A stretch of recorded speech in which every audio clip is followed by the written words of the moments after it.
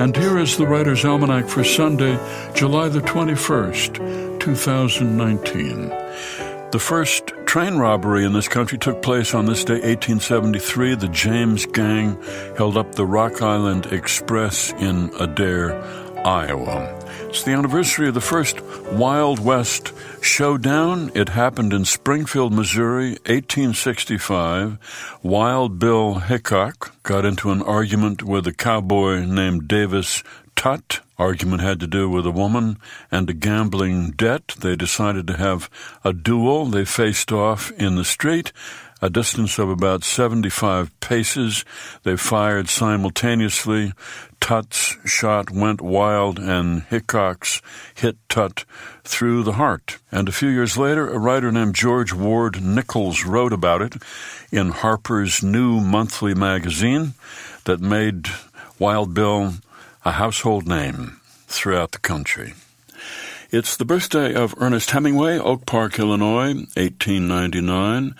He celebrated his 26th birthday in 1925 with his wife visiting Pamplona for the bullfight and the running of the bulls. Got there a few days early, and so he sat down to write a novel. He'd never written one before. He wrote in bed every morning all week, kept on writing when they went back to Paris. He wrote in bars. He wrote in hotel rooms. Finished the first draft two months later. And it turned out to be The Sun Also Rises. He sent it off to Scribner's, which published it in 1926, got a good review in the New York Times, and a bad review from Hemingway's mother, who wrote him and said, It is a doubtful honor to produce one of the filthiest books of the year. Every page fills me with a sick loathing. His second novel, A Farewell to Arms, followed three years later and it became a bestseller. Sold 100,000 copies in its first year, and Hemingway was able to make a living writing fiction from then on. Born in the same year, 1899, on the same day, Hart Crane born in Garrettsville, Ohio. His mother was a Chicago debutante. His father was a very successful candy manufacturer. By the time Crane was a teenager, he knew that he was gay. He moved off to New York, hung out with writers there, had a hard time making a living. He was an alcoholic, and at the age of 33, he jumped overboard on a steamship on his way from Mexico to New York. He died, leaving behind his masterpiece, The Bridge. It's the birthday of the poet Tess Gallagher, Port Angeles, Washington, 1943, who said, If poems are deep sea diving, writing fiction is foraging.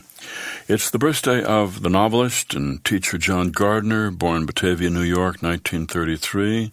His third novel, Grendel, came out in 1971. The retelling of Beowulf from the viewpoint of the monster made his reputation. Here's a poem for today by Linda Pastan, rereading Frost. Sometimes I think all the best poems have been written already, and no one has time to read them, so why try to write more?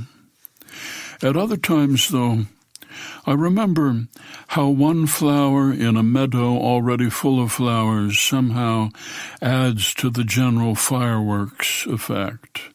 As you get to the top of a hill in Colorado, say in high summer, and just look down at all that brimming color.